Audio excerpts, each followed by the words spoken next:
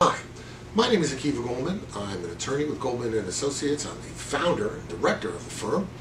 And uh, today we're continuing our video series designed to educate and inform the public. So please subscribe to our channel. Today we're going to talk a little bit about child support and the relationship between the payment of child support and the rights associated with being a father. I'm going to say father because in most cases you got the father paying child support and the mother receiving. Doesn't always have to be that way though. I'm going to use that in this example, but understand these rules apply if it's flipped around. If mother's paying child support and father's receiving.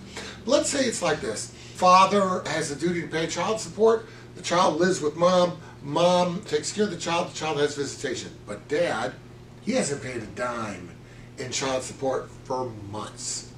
The question then becomes, and we're always ask this question, because he hasn't paid support, do I have to produce the child for parenting time?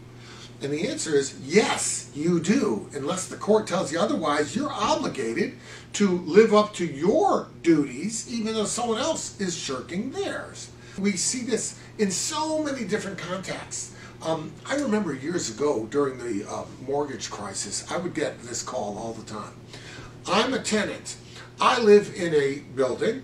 Um, I've been paying rent, but I found out that my landlord's not paying the bank. So do I still have to pay rent?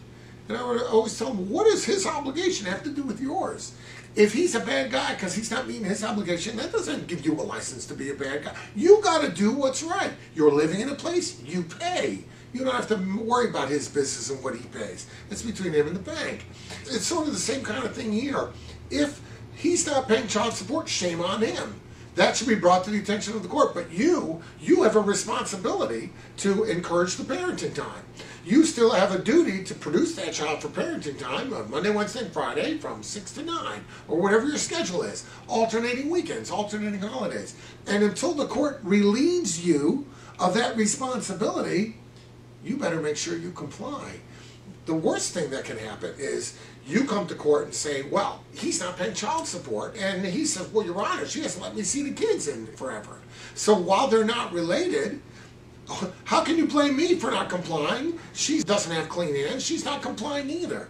That's the worst thing. You never want to be that one, the person who's also not complying. How can you complain about one person when you yourself don't care about the court's orders? So the way to handle it is this if someone isn't paying support, you file motions. You file an appropriate show cause. You ask that the court hold them in contempt. You can ask the court to suspend parenting time until such time as they catch up on the support. You can do that. But until the court enters an order that suspends parenting time until further notice, until the court does that, you're still obligated. And my advice is always going to be follow the court's order follow the court's order, and if you don't want to follow it because you don't think it's fair, you can't make that decision. You're not wearing the black robe. The judge wears the black robe, and that means he or she makes that call. So you've got to make sure in that situation, if you feel it's unjust, if you don't want to produce the child for parenting time, uh, if you don't want to do that because there's no support coming, you have to bring it to the court's attention. The court's going to conduct a hearing, and then the court is going to determine what the appropriate sanction is, whether or not that includes suspending parenting time. And it may well include that, but you've got to go through proper channels. If you have any questions about that, reach out, and we'll be glad to help you out.